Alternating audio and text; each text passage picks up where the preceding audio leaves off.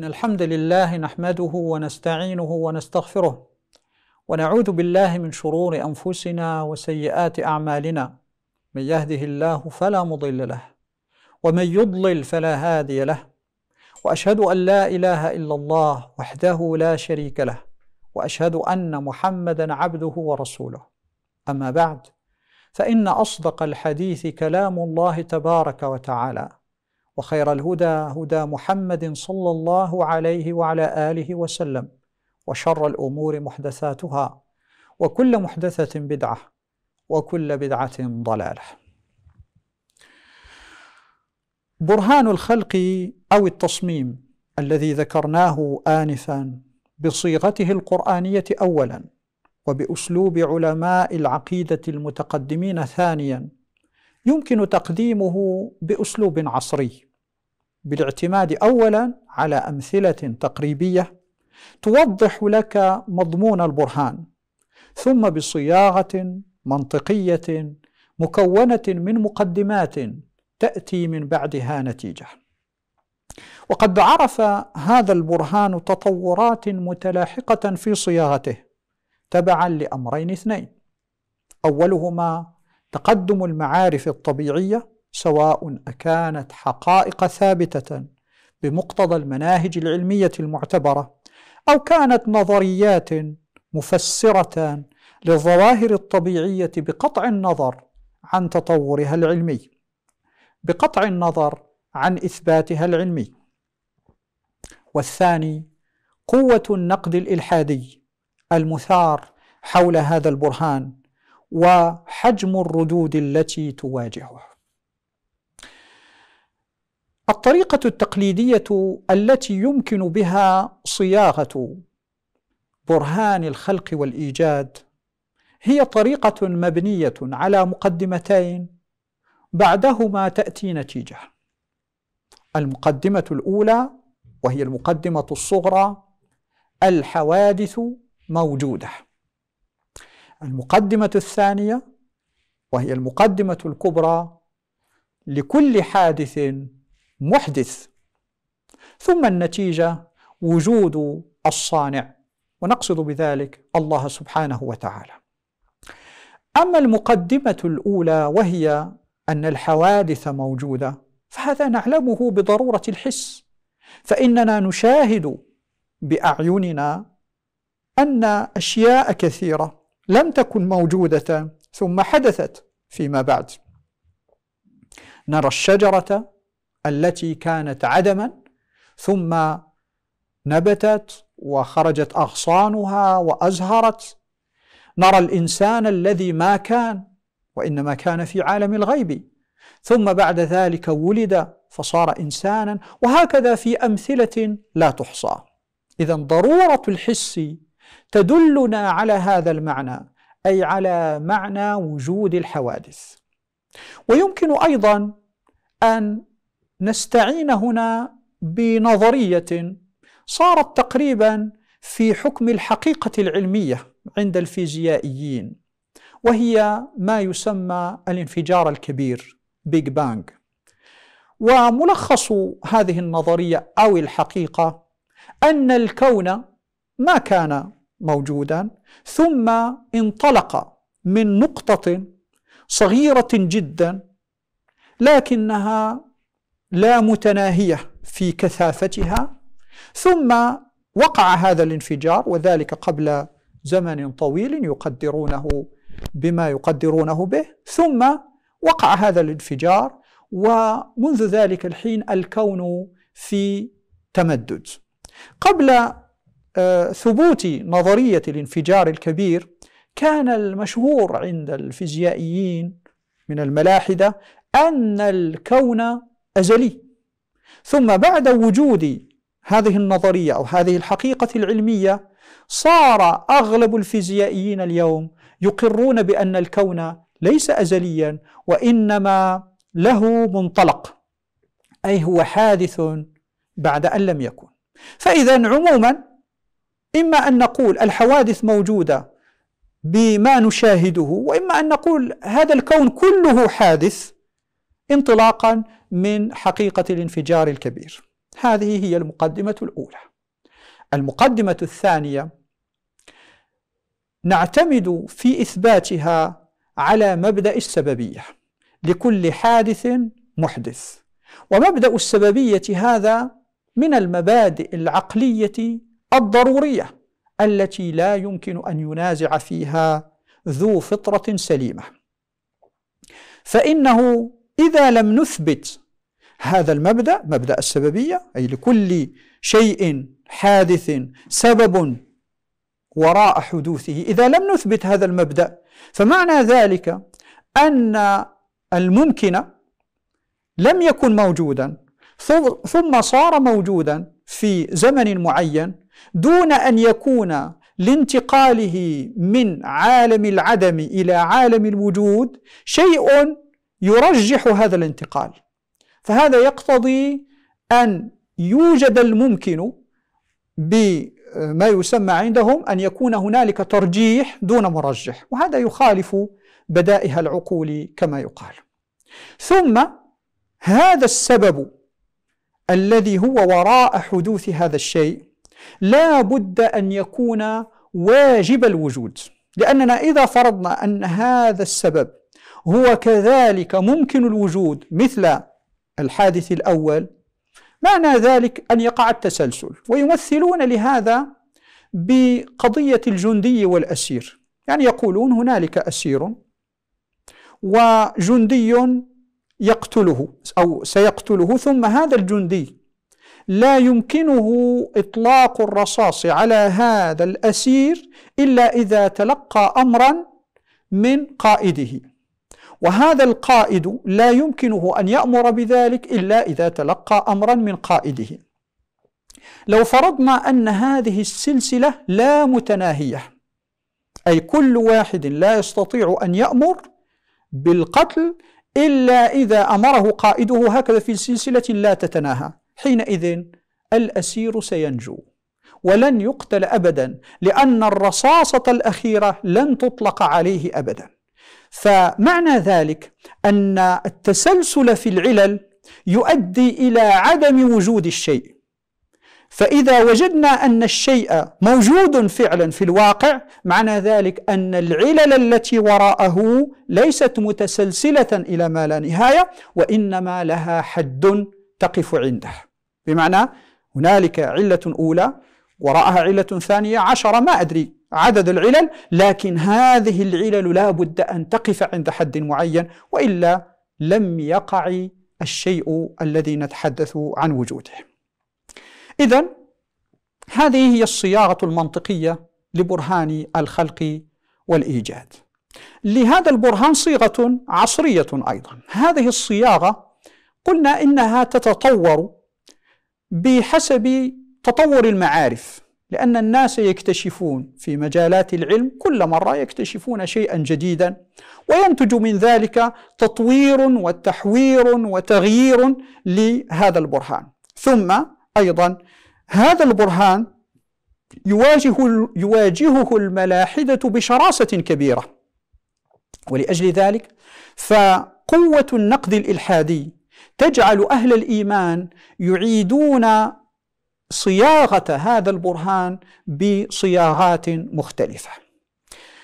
من أشهر من صاغ هذا البرهان بطريقته العصرية فيلسوف اللاهوتي اسمه ويليام بيلي وقد مثل لذلك بمثال تقريبي فقال لنفرض أن رجلا متمدنا يتجول في صحراء قاحلة في خضم جولته هذه التفت فوجد على الأرض ساعة. جميلة أخذ هذه الساعة تأملها فوجد أن فيها أجزاء صغيرة. هذه الأجزاء متكاملة فيما بينها كل جزء منها له قدر معين له حجم معين له وظيفة معينة. ثم هذه الأجزاء المعقدة المتراكبة المتناسقة فيما بينها كل جزء منها يؤدي وظيفة تساهم في الوظيفة الإجمالية لهذه الساعة. فإن الرجل تأمل فوجد أن هذه الساعة فعلا تشير إلى الساعة يعني نعرف من النظر فيها أين وصلت الساعة أنحن في الواحدة أو الثانية أو العاشرة إلى آخره. ماذا يقول هذا الرجل حين يرى هذه الساعة؟ يقول لا شك أن هنالك صانعا صنع هذه الساعة. ويقول لا وجود لساعة دون صانع ساعات. جميل إلى هنا هذا الأمر لا يكاد ينازع فيه أحد من العقلاء. ثم يقول افرض معي أن رجلا آخر كان يتجول فبدلا من أن يجد ساعة وجد كائنا حيا. لنفرض أن هذا الكائن الحي هو سنجاب مثلا. أخذ ينظر في هذا السنجاب ويتأمله فوجد فيه أجزاء عجيبة جدا. عينان ذيل أذنان أشياء غريبة. متناسقة فيما بينها حسنة التركيب فيما بينها. ثم هذه الأجزاء كل واحد منها إذا أزيل أو إذا كان أضخم أو أصغر فإن ذلك يؤدي لا محالة إلى فقدان وظيفته الخاصة التي يحتاج إليها هذا السنجاب. ثم هذا السنجاب إذا اجتمعت هذه الأجزاء كلها فإنه يصل إلى صورة معينة وإلى وظيفة معينة يؤديها. ما الذي يقوله هذا الرجل حينئذ؟ لا شك أنه يقول لا بد أن يكون لهذا السنجاب صانع صنعه. لا يمكن أن أفرق بين الساعة من جهة وبين السنجاب من جهة أخرى. إذا هذا النظر الذي يكون من هذا الرجل يقول كما قلنا في الساعة إنها مصنوعة نقول في السنجاب إنه أيضا مخلوق.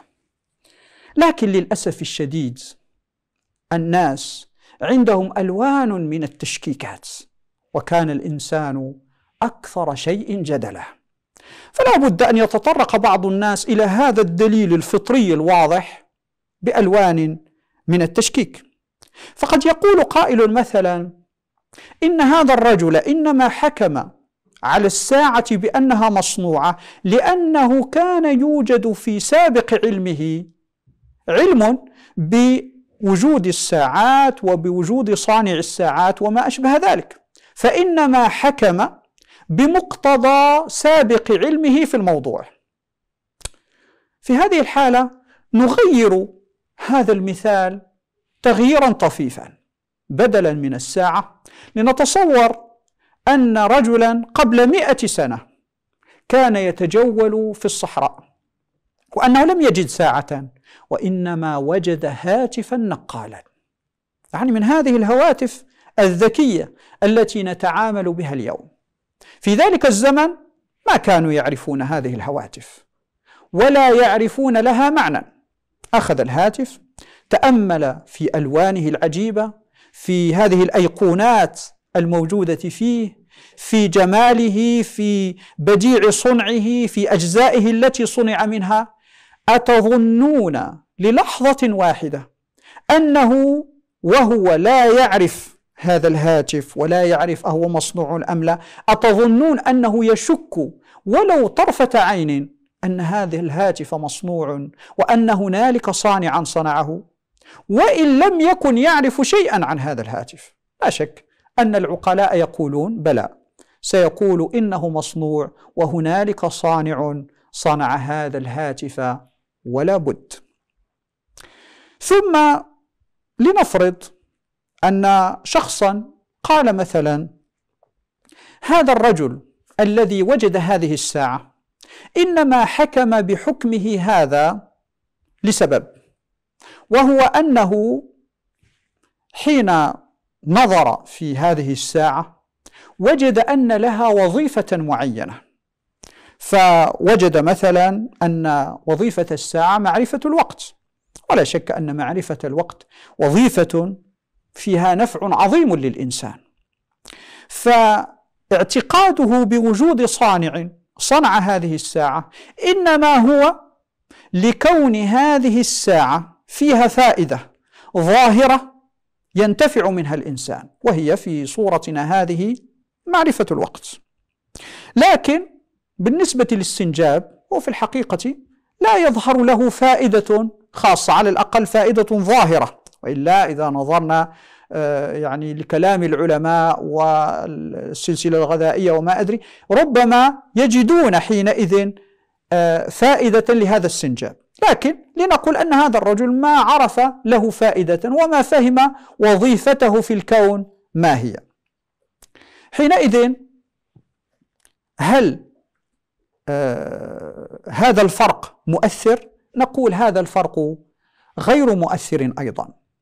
فلو فرضنا مرة أخرى أن هذا المسافر وجد هاتفا نقالا قبل مئة سنة هاتفا ذكيا نقصد ولم يكن له أدنى علم بفائدته بالنسبة للإنسان وإنما تأمل ما فيه فقط دون أن يعرف له وظيفة. فقط ما فيه من الألوان والتناسق والجمال ونحو ذلك هل يحكم بأنه مصنوع أم لا؟ لا شك أنه يحكم بأنه مصنوع. فإذا هذا الفرق ليس مؤثرا.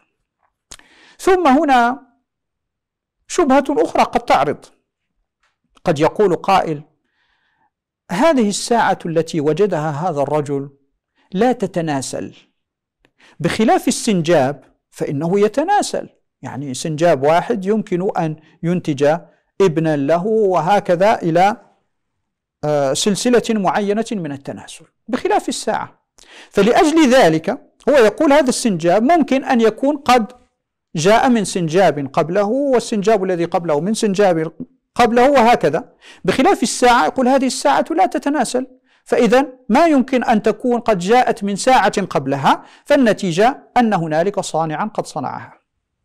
والحقيقة أن هذا الفرق كذلك غير مؤثر. ونحن سنتصور مثلا أن هذا المسافر وجد ساعة من خصائصها أنها يمكنها أن تنتج ساعة أخرى تخرج منها. فحينئذ يعني هذه الخاصية العجيبة. هل تجعله يقول بأن هذه الساعة لها صانع أم على العكس من ذلك يقول بما أنها تتناسل بهذه الطريقة إذا لا صانع لها؟ الحق أنه إذا كان يعني عاقلا فإنه لا يجعل لقضية التناسل أثرا في كونها مصنوعة أو غير مصنوعة. هذه الأمثلة التقريبية صانع الساعات كما يقال تجرنا إلى محاولة صياغة هذا البرهان بصياغة علمية.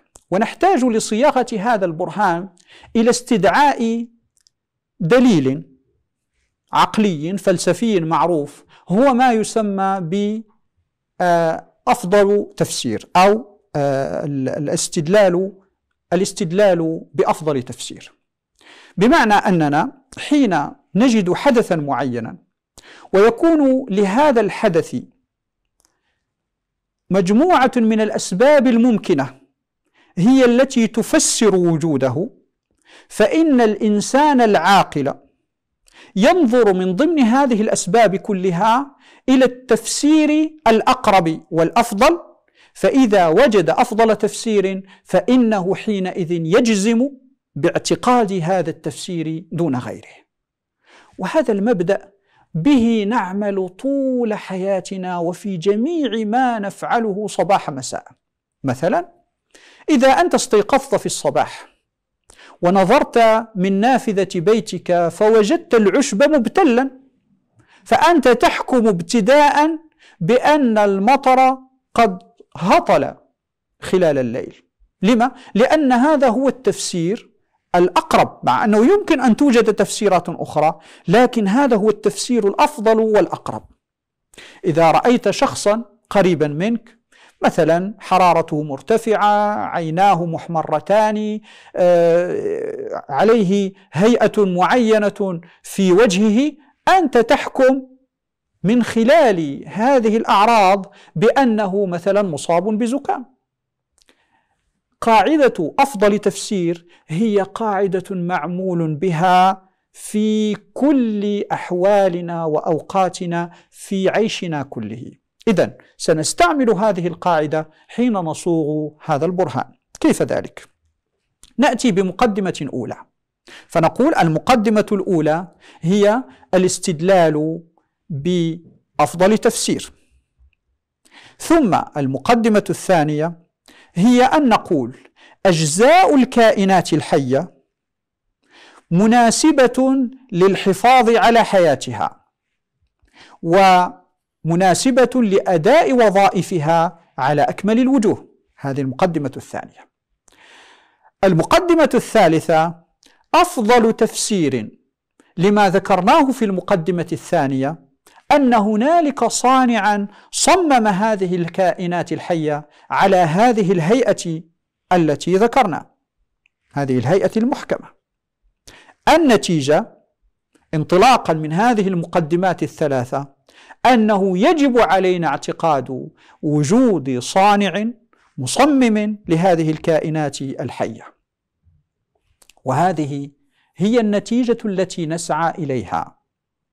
وأكرم بها من نتيجة. والسلام عليكم ورحمة الله وبركاته.